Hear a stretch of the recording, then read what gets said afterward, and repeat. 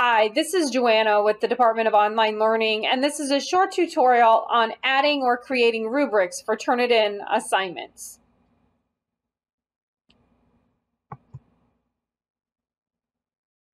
There's two ways to have a Turnitin assignment. One is through the assignments folder option within D2L, and the other is through the Turnitin tool within the content area.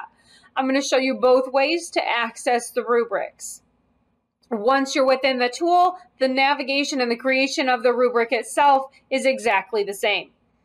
So if you have an assignment folder, you're going to navigate to the assignment. You are going to edit the folder, click on Manage Turnitin.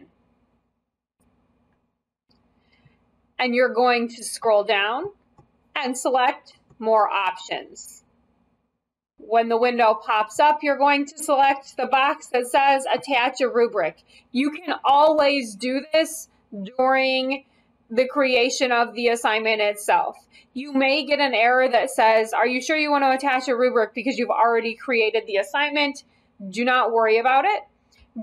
You can select a rubric from a drop-down menu if you've already created one, like sample rubric. You is one that I have created previously, so I could select it and attach it to this assignment. Your rubrics follow you with your Turnitin account, so you do not have to keep creating the same rubrics over and over. If I want to create a rubric, I can click Launch Rubric Manager.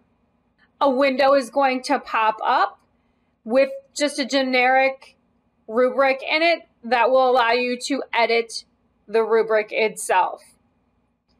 Before I go over how to edit a rubric and create your own, I'm going to show you how to get at this same tool within the Turnitin tool in the content area. So first you go to the content area, you navigate to the module that you want to edit the assignment in, click on the assignment. Go to the gear in the right corner, for settings. Scroll down, click optional settings, and select the box that says attach the rubric. You can go ahead and click launch rubric manager and the exact same window is going to pop up. If I click this menu bar, I'm going to expand this a little bit. If I click this menu bar at the top, I can select create new rubric. So for my rows, I have my criterion and I have my scales going across. I can have three different kinds of rubrics. A standard rubric where I can enter um, values for the column and then I can weight the criterion by percentage. So I could have 10, 20%, etc. for the different criterion.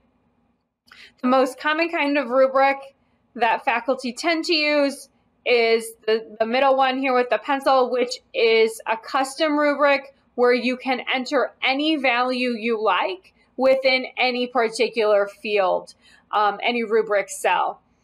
The last one, which just has a zero, is going to be a qualitative rubric. So you can give students feedback, but not give them points for it. So you can tell them how they're performing without assigning a particular score. So let me go ahead and show you how you can add things. If you go ahead and click this plus button over here, it will add some columns for you, a different kind of scale. If you click in the field, you can edit this the heading for that particular column. So you could say perhaps exceeds, meets expectations, begins to meet, does not meet. You are limited in the number of characters that you have to put in your columns, so you can play with that how you would like it to be. You can title your columns and give them descriptors for your criterion. You can put in your point values and also give descriptions as well. When you're done with your rubric,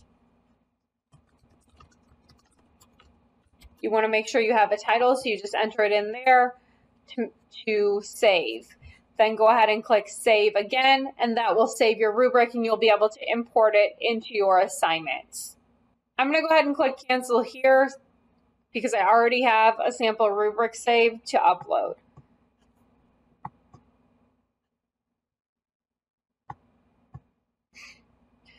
After I have made my rubric, I will still have to attach it. It will now appear in my Dropbox, but I can go ahead and select it and then scroll down and click Submit to make sure that I'm saving those settings. A green bar will appear that says the settings were saved successfully.